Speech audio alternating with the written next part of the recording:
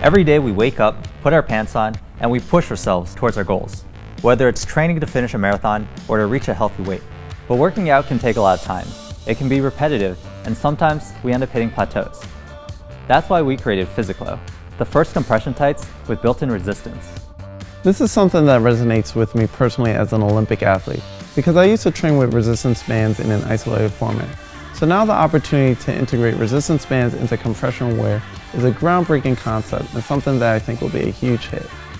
We want to see people pushing themselves to new heights. Whether you're running, cycling, doing yoga, CrossFit, or anything you do to stay active, you're going to be working harder and getting better results.